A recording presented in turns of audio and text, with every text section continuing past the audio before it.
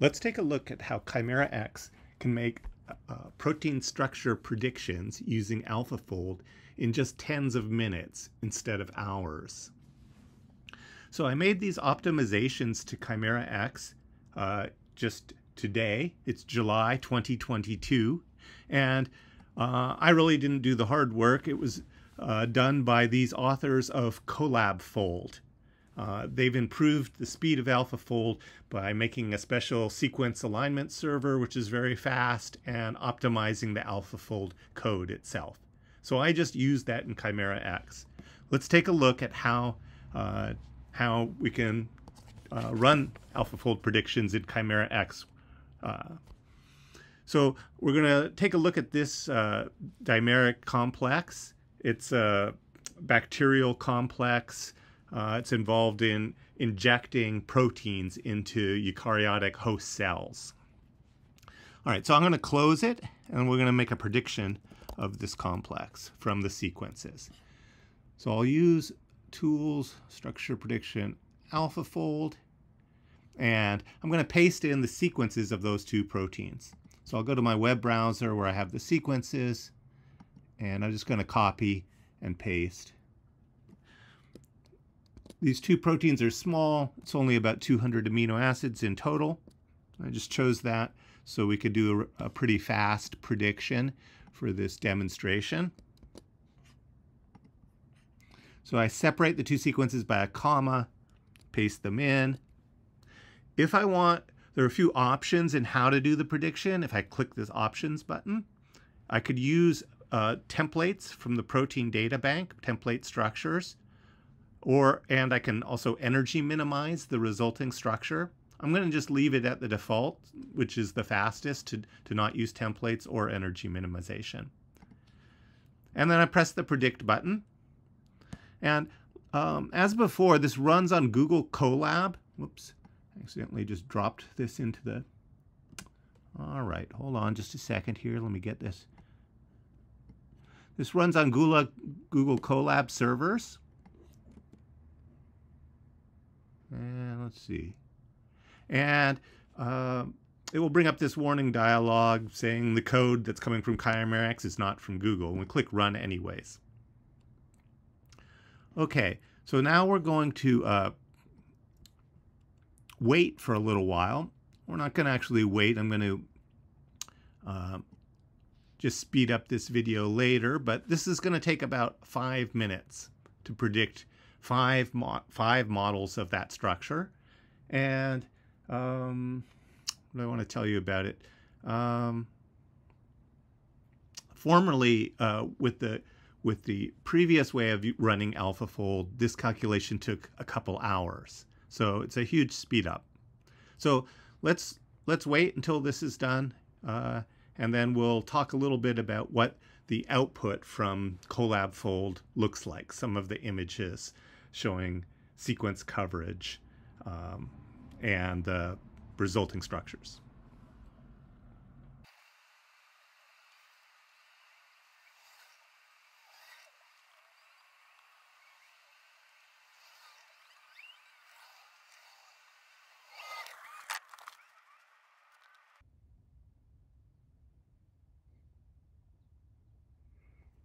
Okay, so five minutes went by. Google Colab servers computed uh, using this ColabFold uh, some models of this this dimeric complex. Let's take a look.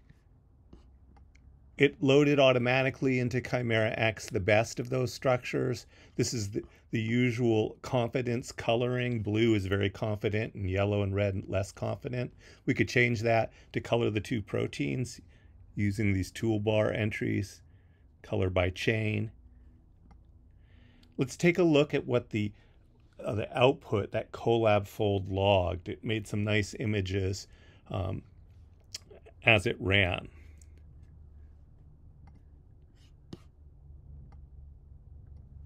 Let me make this window a little narrower and let's scroll to the top.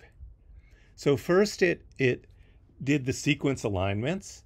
Um, it, it found about 300 sequences that matched the input sequences of these two proteins. Um, and you can see, Let me make this window a little taller. Um, this black curve shows the number of sequences it found at, at each residue position. So along the horizontal axis, we have the 200 residues. You see that there's a black dividing line. On the left is the first protein. It's about 120 residues. And on the right is the second protein. AlphaFold just, um, just concatenates them together. Uh, so this black curve shows the coverage of each of those proteins. That's useful to take a look at. So about 250 sequences cover the, the C terminus of the first protein, but less cover the N terminus. And the second protein, we've got about 100 sequences covering that.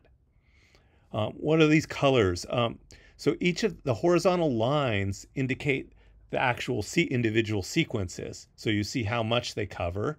Um, so for instance, these red lines near the bottom, they only cover the the um, the latter half of the first protein, the uh, the C terminus of the of the protein.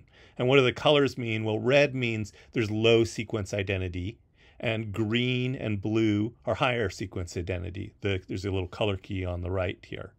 Um, it, you see it orders them by sequence identity. So the ones with more sequence identity are near the top if you look near the top here, you see um, both uh, some green for protein 1 and protein 2. That is because it's paired up two sequences for the two proteins that came from the same organism.